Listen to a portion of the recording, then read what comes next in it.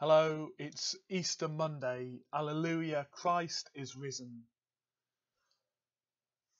I invite you to join with me, to join with others, and pause and be still for a moment.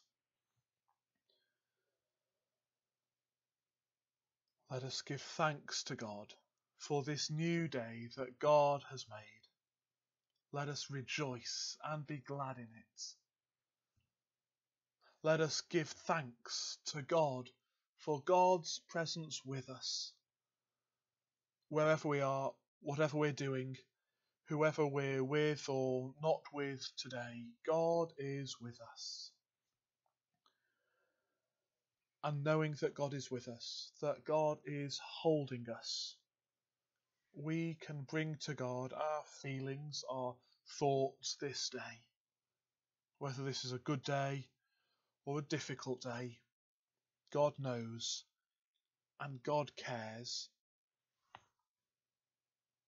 This week, we'll be using signs of life from the world around us as the starting point for our little thoughts each day. Today is Easter Monday, so today we're thinking about chickens. I've not got a chicken, but I have got a duck and an eagle so they'll have to do.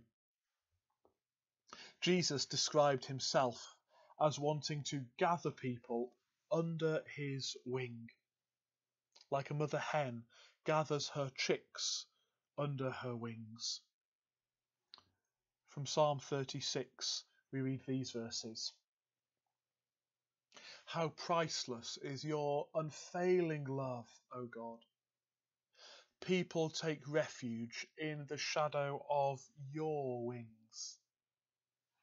They feast in the abundance of your house. You give them drink from your river of delights. For with you is the fountain of life. In your light we see light.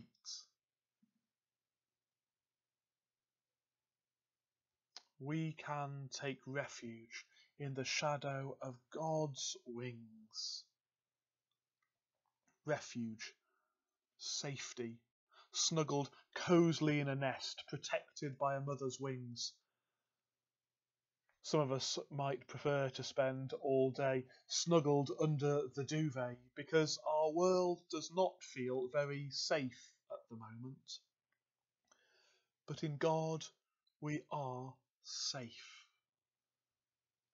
At Easter, we celebrate being saved. We talk about Jesus as our Saviour, the one who saves us from going the wrong way in life. Jesus keeps us safe, safe with God. We can know God's eternal protection, God's eternal safety. In God's family, in God's kingdom, there is a safe eternal home for each one of us.